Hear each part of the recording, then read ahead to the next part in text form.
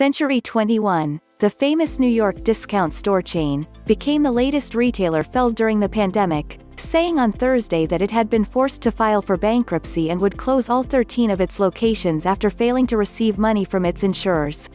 The retailer said in a release that its insurance providers had not paid about $175 million due Century 21, under policies put in place to protect against losses stemming from business interruptions such as that experienced as a direct result of the COVID-19 pandemic.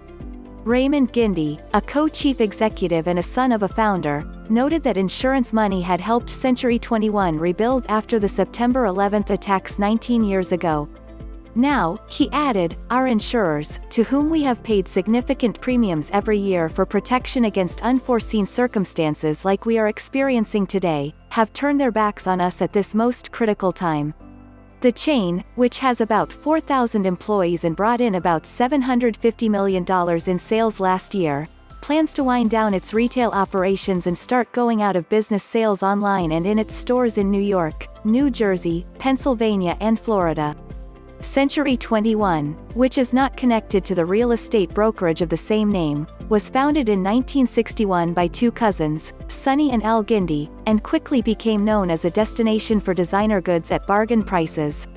It was a pioneer of the now ubiquitous off-price shopping model, which includes national chains like Ross, TJ Maxx and Marshalls. With its tagline, New York's best kept secret, and a flagship store near the World Trade Center, Century 21 became a New York institution.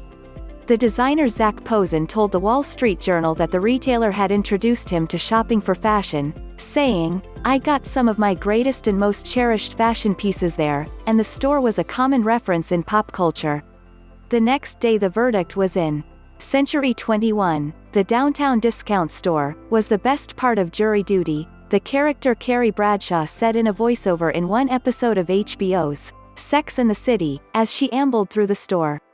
Century 21 stores represented the quintessential New York deal, said Vincent Quan, an associate professor of fashion business management at the Fashion Institute of Technology, who advised Century 21 for many years.